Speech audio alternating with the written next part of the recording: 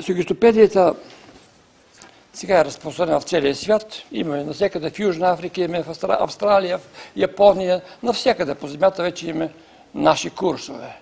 И в тази асоциация, аз тук показах една скица, това има, има към 35-40 PhD, защитени в целия свят по сигестопедия. Например, имахме 15 училища. Методиката не е само за чужди езици. Тя е най-известна за чужди езици, понеже най-напреднала там. Но това е методика за, всечка, за всякакъв вид обучение. Например, за обучение по четене на малки деца. Как ги обучаваме малки деца? Те, те се научават да четат без да се обучават. Без да учат, изведнъж виждат, че могат да четат. Как? Ние слагаме украшение на стената, украшение, картинки. Ние им обръщаме внимание на тях. После се оказа, че подсъзнателно те са възприели думата и кар... картинката и думата под нея и вече я познават. Като закрием картината, те четат думата. Като извадим думата и я напишем на черна дъска, те я четат. Така много бързо те стигат до четене, много бързо. 5 до 10 пъти по-бързо от всякаква друга методика. И нашите ученици завършиха първи клас без домашни работи при 5-дневна учебна седмица, направо за трети клас. В една учебна година взеха две учебни години без домашна работа. Защото това, като твърда, аз и пак ще ги кажа каквото точно твърда, изглежда фантастично, невероятно. Може би като лъжа изглежда.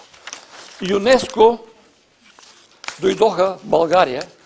Част от тях стояха един месец, другата всички остане една седмица и провериха училищата, тези 15 училища, провериха и чуждоязиково обучение и дадоха заключение. Това е най-добрата методика в света и трябва незабавно да се приложи в целия свят, включително и Южна Африка, където има толкова голяма неграмотност. Методиката ще е доказала и до определено ниво е приемана 100%. От определено ниво некъде, някой някъде в България спъваше. Не знам кой. Затова аз тръгнах по чужбина.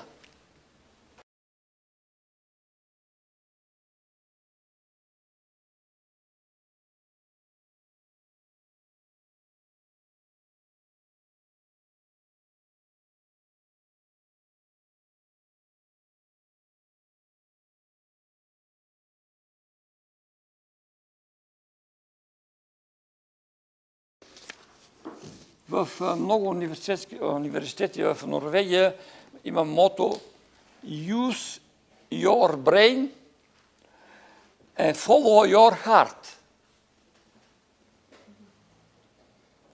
Това е съгостопедията.